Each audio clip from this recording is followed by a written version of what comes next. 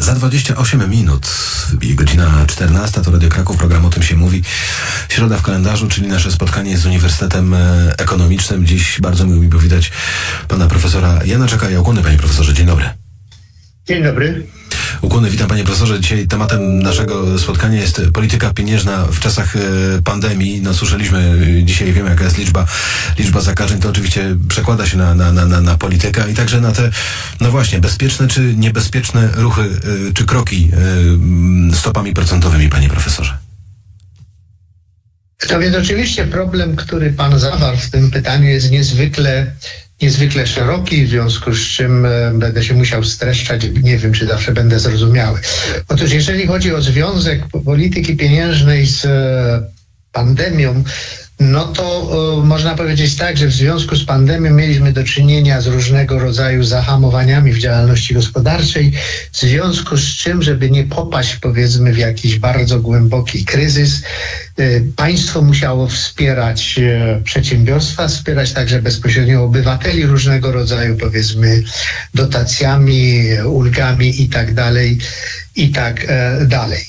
I w wyniku tego można powiedzieć, no nie dopuszczono przynajmniej na dłuższy okres do, y, do kryzysu, który, który rozciągałby się, tak jak powiedziałem, na dłuższe, dłuższe y, okresy, ale z drugiej strony oczywiście mieliśmy do czynienia z wypływem pieniądza, któremu z drugiej strony nie towarzyszył wzrost y, albo przynajmniej wystarczający wzrost podaży dóbr i, i usług, w związku z czym między innymi dlatego, ale także ze względu na inne czynniki. Od dłuższego już czasu właściwie obserwujemy w naszej gospodarce wzrost inflacji.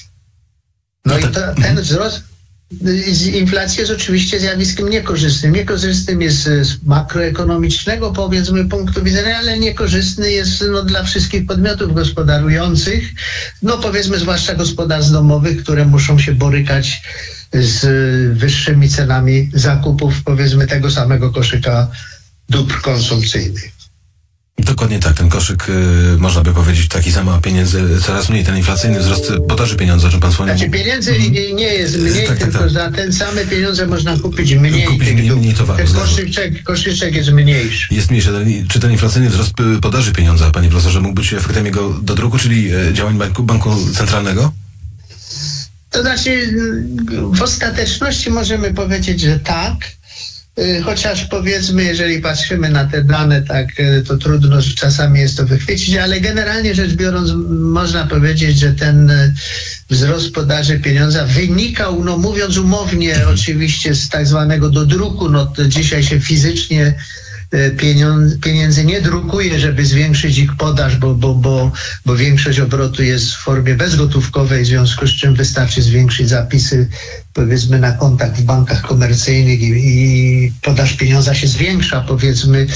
E, nie, nie trzeba koniecznie e, drukować gotówki, w związku z czym tradycyjnie mówimy o takiej, o takiej zwłaszcza sytuacji, kiedy deficyt budżetowy jest pokrywany kredytem z banku centralnego, czy w ogóle nawet nie kredytem, tylko emisją pieniądza, no to wtedy mówimy z tak zwanym dodrukiem pieniądza.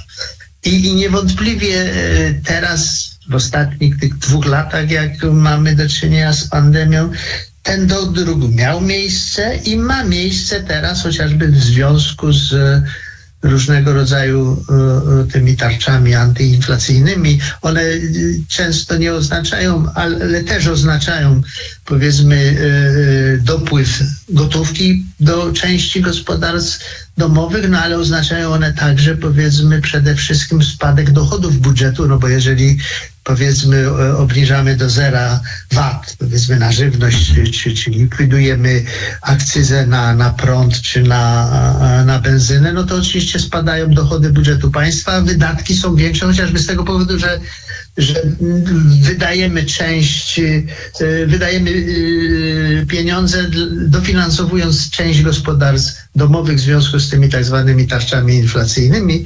W związku z czym oczywiście to w ostateczności może mieć wpływ na inflację myślę, że w jakimś zakresie ma. Panie profesorze, to jakie są prognozy rynkowe? Bo Puls Biznesu podał bodaj wczoraj, że te prognozy wskazują, że złoty powinien być w 2022 roku mocniejszy niż w 2021, choć nie wróci do poziomów e, sprzed pandemii. Co to oznacza dla, dla, dla zwykłego Kowalskiego? Ja myślę, że dla zwykłego Kowalskiego to to pewnie niewiele oznacza, zwłaszcza jeżeli kurs byłby stabilny, tak jak, e, tak jak wynika to z tych prognoz, które pan przed chwilą przytaczał. Kurs, wie pan, no to mam znaczenie jak gdyby w dwóch e, aspektach. Po pierwsze, jeżeli jedziemy za granicę i, i, musimy kupić powiedzmy euro w banku, no to oczywiście im słabszy jest kurs złotego, tym więcej musimy wydać złotówek, czyli osłabienie się kursu złotego jest tutaj, e, tutaj niekorzystne. No i drugi jak gdyby aspekt bardziej taki złożony i szerszy jest taki, że kurs walutowy wpływa na opłacalność eksportu i, i, i przez to na całą gospodarkę. Słabszy złoty oznacza, że przedsiębiorstwom polskim bardziej opłaci się eksportować. I, to są te dwa aspekty. Aby, powiedzmy, większy eksport oznacza wyższy popyt generalnie, większe zatrudnienie, większe dochody i tak dalej. Także powiedzmy, no tutaj z tym kursem walutowym to sprawa jest bardziej bardziej złożona, żeby ją tak powiedzmy w kilku słowach wyjaśnić, no ale starałem się. Nie wiem, czy mi się to udało. Na pewno się udało, panie profesorze, za co bardzo e, dziękujemy.